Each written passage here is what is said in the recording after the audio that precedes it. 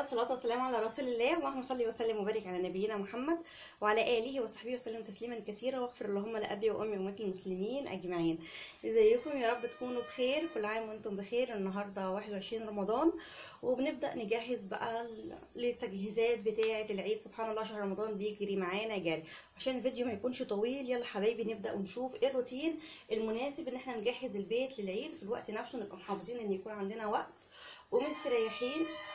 بدنيا عشان نقدر نقوم الليل بالليل الليالي الوترية ما تفوتناش. وطبعا إحنا الموضوع ده ما فيهوش تنشين دي ليله وترية ولا ليلة زوجية لأن الله أعلم الحسابات بتاعت الفلاحين دي مظبوطة ولا لأ. فإحنا لازم نكون إيه مركزين كده شوية. يلا نبدأ على طول الفيديو بتاعنا.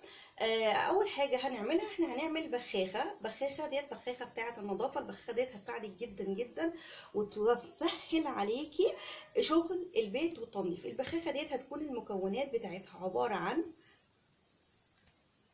كربوناتو ملح الليمون والخل.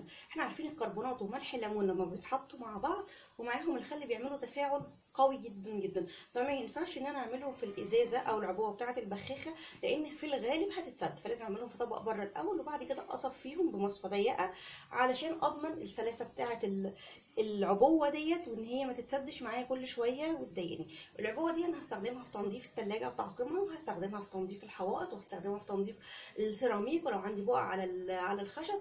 البخاخة ديت من الحاجات اللي بتسهل عليكي كتير جدا جدا جدا وبتوفر عليكي وقت ومجهود. هتكون دراعي اليمين معايا في الرحلة بتاعة التنظيف بتاعتي. هي وتاني حاجة معايا المناديل المبللة بتعمل نفس الفكرة وهتوفر عليا وقت كمان ومجهود وسعرها مناسب. وإحنا قبل كده كنا عاملين فيديو عن المناديل المبللة إن شاء الله تشوفوه.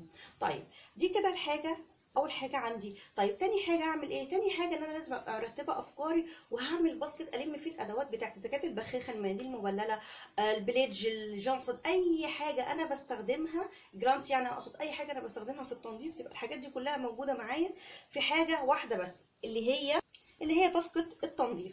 طيب هنبدأ بقى بإيه؟ هنبدأ دايما بالحاجات اللي بتاخد مني وقت كبير. يعني لو عندي كسوة بتاعت أنتريه ستاير سجاجيد. الحاجة ديت أنت شايفة إن هي لازم حتما إن هي تتعمل يبقى هبدأ بالحاجة ديت. دي نقطة. الحاجة الثانية هبدأ بالأماكن البعيده عن الإيد والبعيده عن الخطوات. يعني حاجة بعيدة عن التعامل اليومي بتاعي.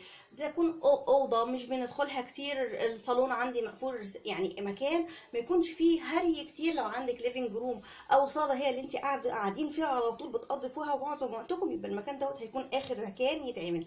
طيب بدأنا بالحاجات اللي بتاخد وقت زي كسوة الأنتريه الستاير السجاجيد والحاجات دي غير إن هي بتاخد وقت. في التنظيف بتاعها فهي برضو بتاخد وقت طويل عقبال لا قدر الله ما يبان عليها إن هي محتاجة تنظيف. فكده هتفضل لآخر الوقت لغاية يوم العيد باينه كانها لسه معمولة حالا. حلو كده؟ هبدأ بقى أشوف أنا هعملها لوحدي ولا حد هيساعدني؟ لو أنا هبعتها لمحل تنظيف يبقى لازم من النهارده تبدأي توديها لمحل التنظيف عشان تاخدي دورك لأن بالتأكيد في ناس كتير واخدين عند ال dry clean أو التانتر زي ما بنقول واخدين وقت فلازم هيخلصوا الحاجة ديت. تمام كده؟ بالنسبة للستاير لو أنا هعمل الستاير هنضفها في البيت. بنزل الستاير بتاعتي بنفضها كويس وبعد كده بحطها دورة شطف الأول وبعد كده بغسلها فكده بتاخد مني نظافة غير عادية ودورة الشطف بعديها بتحس ان الستاره فعلا نطفت لو أنا مش هقدر أعمل كده يبقى بالبخاخة بتاعة النظافة اللي إحنا قلنا عليها بعد ما نفض السجادة كويس أقصد الستاره كويس من أي تراب موجود عليها إن أنا بحط على البقع اللي باينة في الستاره بعمل بالبخاخة ديت وأدعكها ضحكة بسيطة هتلاقي خلاص مفيش حاجة. خاصه إن البخاخة ديت مش بنحتاج بعديها إن إحنا نشطف لأن هي ما فيهاش مادة صابونية أو ما فيهاش حاجة ترغي أو هتسيب لون. إحنا حاطين حاجات أصلا خل كربونات وملح ليمون مش بيعملوا أي بقعة أو بيسيبوا أي أثر ليهم لما نستخدمهم تمام كده؟ ده بالنسبة للستاير. برقع الستارة كمان لو عندك ستارة اللي هي فيها برقع ديت بالفرشة بتاعة المكنسة شفطي التراب اللي عليها وهتلاقيها بقت زي الفل ما فيهاش أي حاجة خالص. وكده تقدري إيه؟ نخلص بند بتاع الستاير. بالنسبة للسجاد لو سجاد كبير أو مش هينفع إن هو يتغسل نضفي السجاد على الناشف. الخلطة نفس الخلطة بتاعة الخل وملح الليمون والكربوناتو ولو حطينا معاها حبة مسحوق Persil gel أو Ariel gel بتديكي نظافة حلوة جدا جدا جدا للبقع. طيب في حاجة كمان. منظف الزجاج نفسه بينظف البقع اللي في السجاجيد. حلو قوي وعن تجربة قلت لكم الموضوع دوت أكتر من مرة. في حاجة كمان الفرشة اللمامة الفرشة اللي هي بتاعت اللي بتشيل الوبر أو الشعر اللي على السجاد الفرشة دي بتعمل فرق كبير جدا جدا. لو استخدمتيها لأن في بيوت بيكون فيها بنوتيت كتير كده فبتلاقي الشعر بتاعهم والحيوانات الوبرية بقى الدباديب وخلافه. بيسيبوا بقع وج... بيسيبوا شعر وحاجات كده. لما بتنضفيها بالفرشة ديت من على السجادة بتحسي إن السجادة كأنها بتتنفس ولونها وشكلها الحلو بدأ يطلع. حاجة كمان إن الكنس بالمقشة العادية المقشة العادية التقليدية خالص بيعلي الوبرة بتاعة السجادة وبيخليها شكلها في لمعة حلوة غير المكنسة على طول. حتى لو انت بليتيها بس حبة مية صغيرين بخل وبما إن إحنا في وقت بتاع تطهير وكلام من ده في حبة مية بخل ممكن ذرة صغيرة كلور في المية تتذوب حلو وبعد كده نعمل بيها برضه هتديكي نتيجة ولمعة حلوة قوي قوي. بالنسبة للكسوه بتاعه الانتريه فخلطات البقع المعروفة كلها هتمشي معاكي عادي لو في حالة إن انت مش هتحطيها تتغسل في الغسالة. تمام كده؟ يبقى إحنا كده عملنا الثلاث حاجات اللي هم الثلاث أكبر ثلاث حاجات عندك في البيت. طيب بالنسبة للخشب الخشب بتاع البيت كله عموما إذا كان انتريه سفرة أوضة نوم فالخشب دوت إحنا ممكن ال Pledge مفيش أسهل منه. لو مش هتعملي ال Pledge يبقى في عندك خلطه تنظيف تنظيف الخشب اللي هي بتبقى عبارة عن زيت زيتون وخل وبنرجهم كويس وبنرش وبنعمل بس لازم يبقى المكان ما فيهوش تراب. الأول أساسي ما فيهوش تراب. ثانيا يكون نسبة زيت الزيتون قليلة قوي تمام؟ عشان ما تعمليش حاجة أصلا تلم تراب إحنا عارفين الزيوت بتلم تراب ونصيحة بصراحة بصراحة كده. آسفة. إن هاتي Pledge أفضل. وفي أنواع تانية تقليد بتاعة Pledge بتلمع الخشب معاكي كويس جدا جدا. ولو جبت لو أنت عندك الخشب معمول اسمه إيه؟ آه اللي هو مش مدهون دوت اللي بقى بلون الخشب الطبيعي. وجبتي إزازة سبيرتو أحمر وجربتي هتلاقيها بتدي نتيجة معاكي حلوة جدا. بس يكون في مكان متداري عشان تتأكدي إن دوت ينفع إن هو يتعمل بالشكل ده. تمام كده؟ نشوف إيه معانا بعد كده. الحوائط بقى وما أدراكم ما الحوائط بالذات البيت اللي فيه ألوان وشخبطة على الحيطان.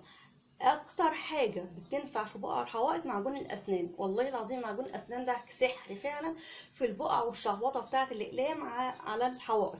تمام؟ حاجة بعد كده اللي هي نفس الفكرة بتاعه ملمع الزجاج والبخاخة بتاعة النظافة. عندك الثلاث حاجات دول بيطلعوا البقع من الحوائط بشكل سريع جدا جدا وفعال.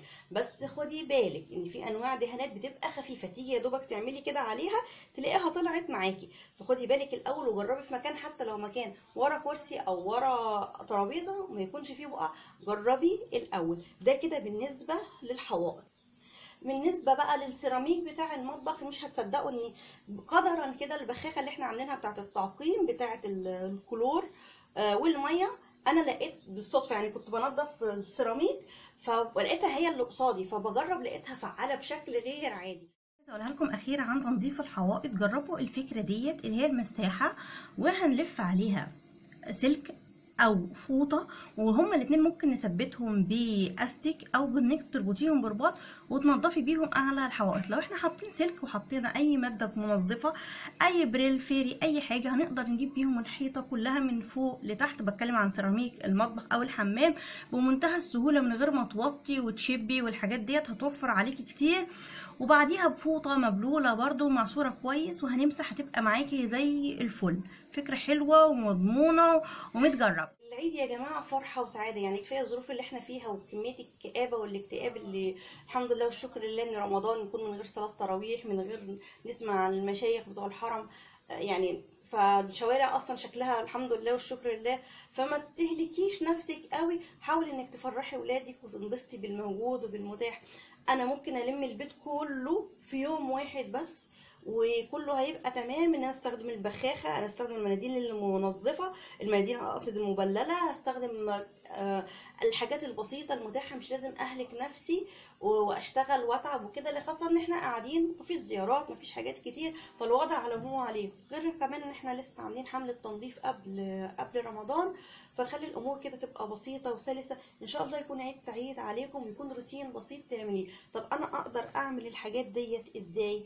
أقدر إن أنا كل يوم آخد نص ساعة أو ساعة أزود عليها الحاجة بتاعتي الشغل العادي. يعني مثلا لو أنا كل يوم عندي شغل الصبح برنامج صباحي أو بعد المغرب أو بعد السحور برنامج مسائي بلم في المطبخ وأي كركبة تانية في البيت بأخد معاهم نص ساعة أو ساعة مرة واحدة أو نصين أظبط فيهم حاجة زيادة. هنزل النهارده الستاير مش هتاخد لها نص ساعة تحط في الغسالة. هعمل النهارده هتأكد من البقعة اللي في السجاجيد. إذا كان أنت كنت قاعدة في بيت فهتعملي سلم البيت وكده. بحيث إن الأمور تبقى ماشية سلسة وبسيطة. باقي عندك تسع أيام اظبطي معاهم. الحاجات ديت ما تنسيش ما تنسيش ما تنسيش. تاخدي قيلولة اللي ما بين العصر والظهر علشان تقدري تقيمي الليل وتصلي وتدعي ربنا. وهقول لك على حاجة تانية مهمة جدا جدا جدا. إنما الأعمال بالنيات. قبل ما تعملي الحاجات ديت تبقى نيتك خير نيتك ادخال السرور على أهل بيتك. نبقى نيتك حسن التبعهم يبقى نيتك إن الله نظيف إن الله جميل يحب الجمال. يبقى نيتك إن النظافة الطهور شطر الإيمان استحسني النية وربنا سبحانه وتعالى هيجعل كل حاجة عليكي وهو علي هين. هتكون هينة ولطيفة وخفيفة وتقدري تعمليها. وانتي مستريحة. كل سنة وانتوا طيبين. معلش أنا. عندي كلام كتير وعندي حاجات كتير عايزة أقولها لكم بس أنا هحاول إن الفيديو يكون قصير وشوفوا الفيديو بتاع السنة اللي فاتت بأمر الله يكون مفيد بالنسبة لكم. هسيب لكم link الفيديو بتاع روتين تنظيف قبل العيد بتاع السنة اللي فاتت وهسيب لكم ال link بتاع فيديو البخاخة و أقصد آه منظف الزجاج والمناديل المبللة وكل عام وأنتم بخير ما تنسوناش من صالح دعائكم. السلام عليكم ورحمة الله وبركاته. كنت معاكم مروة حماد ونادي كل الستات.